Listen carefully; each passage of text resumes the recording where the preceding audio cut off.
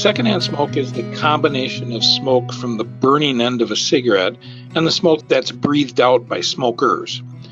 It contains about 7,000 chemicals, of which hundreds are toxic and about 70 can cause cancer. There's no risk free level of secondhand smoke exposure. Even brief exposure can be harmful to health. Children with asthma who encounter secondhand smoke, uh, that can be a problem. They can have more severe and more frequent asthma attacks. Secondhand smoke can cause coughing, wheezing, shortness of breath, and acute lower respiratory infections such as bronchitis or pneumonia. In adults who've never smoked, secondhand smoke can cause heart disease.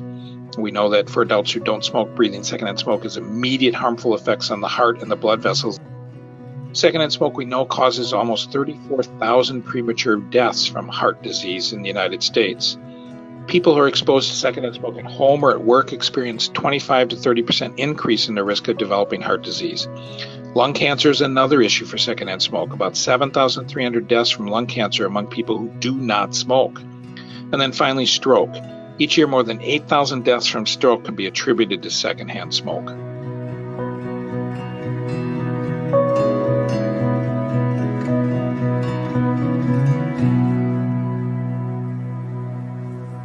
It's possible to breathe in the e cigarette aerosol if you're around somebody who's vaping but there isn't a lot of published research yet on how this inhaling of the aerosol affects the body.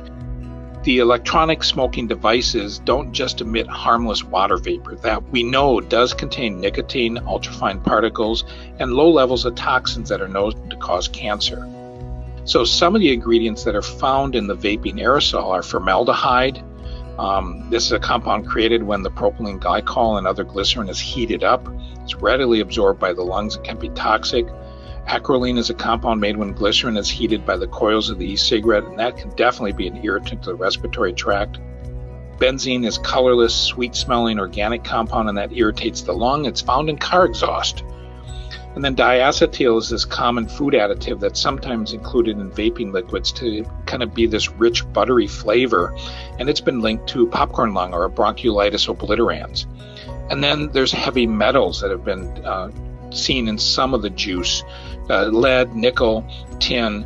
And so e cigarette devices then use the metal coils to heat the vaping fluid over time. Small amounts of this metal can sometimes get aerosolized also.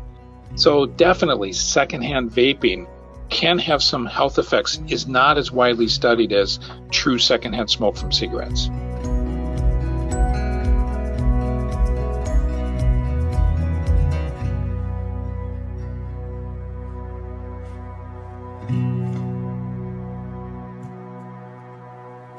Mm-hmm.